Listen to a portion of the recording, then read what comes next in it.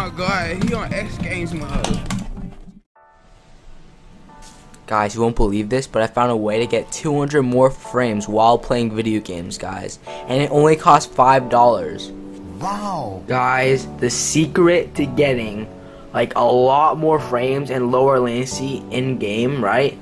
Is to put thermal paste inside your keyboard because it cools your keyboard down. So I'ma go do it.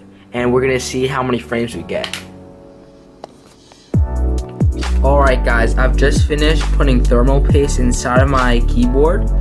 And as you can see, it's on my keycaps too. I put on every single key switch.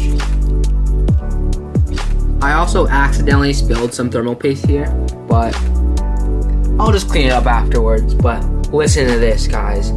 Listen to the thermal paste. It made my membrane keyboard so much quieter compared to the regular switches it's so much louder. Like I put a lot of thermal paste so I can get that really fast cooling inside my keyboard to get lower latency and higher frames too.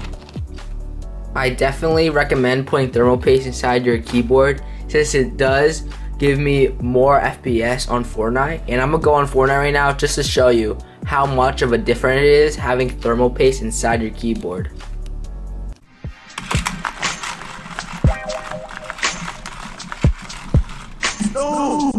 Rock into a headshots production. Come on, come on.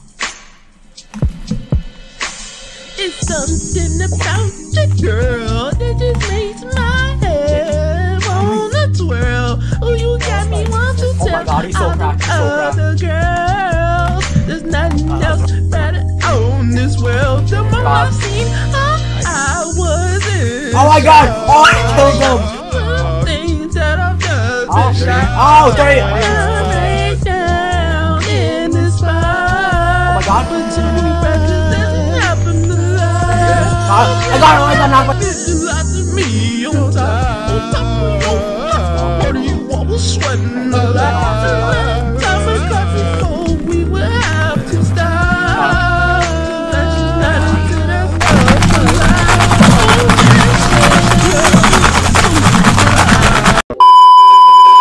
Oh, got him. He's more dog water than my transgender husky with breast cancer. Let's go.